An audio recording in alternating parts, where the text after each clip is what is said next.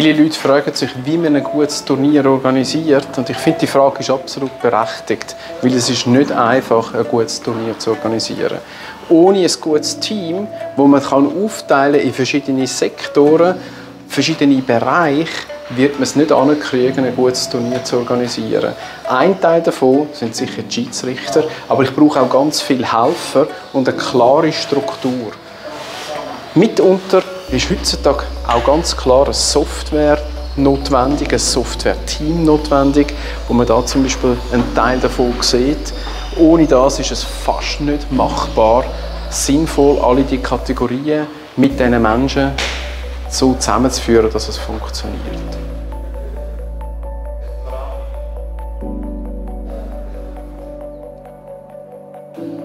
Es ist natürlich essentiell, dass die Schiedsrichter wirklich gut ausgebildet werden.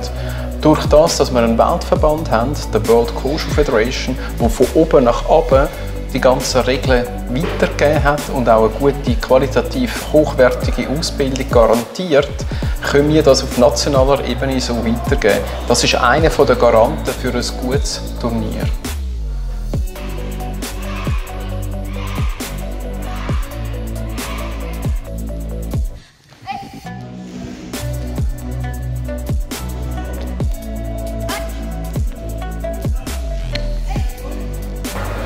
Wenn wir an so einem Turnier arbeiten, ist es einfach ganz wichtig, dass man gute Schiedsrichter hat und dass man schlussendlich auch gute Zeitnehmer und Listenführer hat. Das heißt, es braucht das, dass wir, was wir vorher schon gesehen haben, wir brauchen gut ausgebildetes Personal, Hilfskräfte, die da mitschaffen. Natürlich freiwillig, weil anders wäre es gar nicht möglich alle die kleinen Funktionen, von, von nur schon von dem, der dann vielleicht das Getränk an den Tisch bringt, sind sehr wichtig, weil nur so funktioniert das nachher.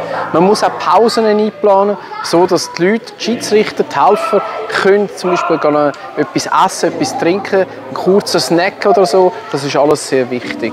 Ohne das funktioniert das Ganze nicht.